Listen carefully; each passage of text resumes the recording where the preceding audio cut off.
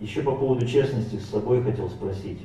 Э, вот признак, что все понял, глубоко понял причину изменения отношений, вот это внутреннее спокойствие, спокойствие, как это не спутать с э, обманом, никак не спутать с безразличием. Вот правильно вы говорите.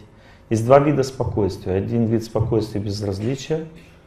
Это спокойствие, когда человек, которым человек ничего не видит. Он находится внутри себя, он ничего не видит.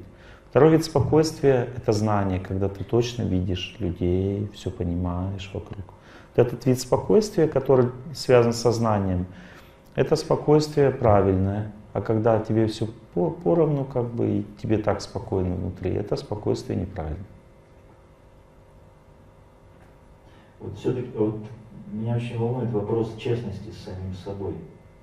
Вот вы жену видите, что ей надо, и при этом спокойны, поняли, что ей надо.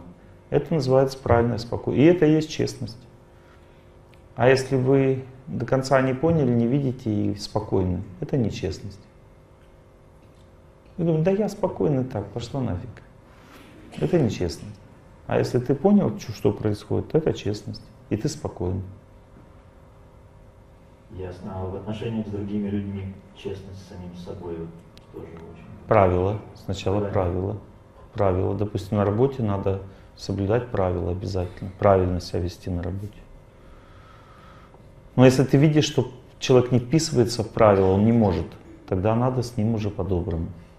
Объяснить ему, что вот так надо.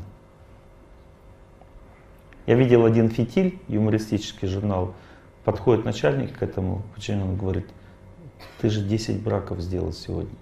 Тебя за это надо уволить, там, туда все штрафовать. Он говорит, ты понимаешь, что 10 браков сделал? Он говорит, понимаю. Понимаешь, что уволить могу? Понимаю. Но ты же все равно 10 браков же сделал. Сделал. И начальник говорит, ну ладно, иди работай. Вот это правильно. Благодарю.